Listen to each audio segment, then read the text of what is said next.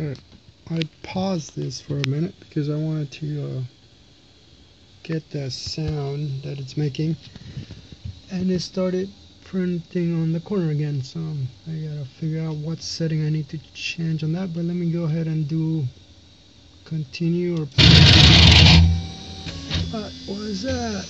I just pressed uh, continue on the um, computer and he made that noise and now it's printing farther down. So I'm not sure what the heck is going on with it. Um wow.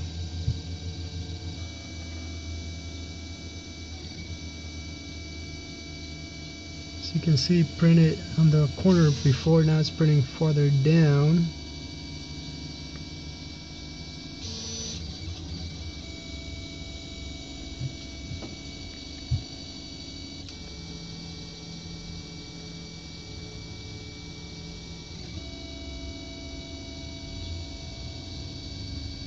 think it's printing the other half from here to here.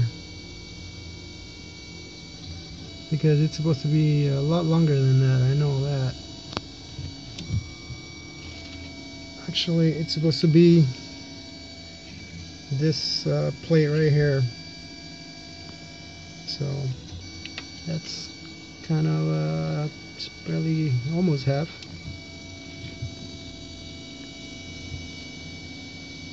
Um, so it's printing the other half there, I guess.